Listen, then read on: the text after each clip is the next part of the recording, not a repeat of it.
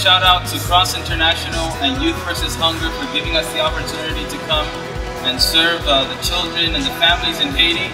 It's a privilege for us to be able to, from another country, help support by, by putting manpower, giving financially.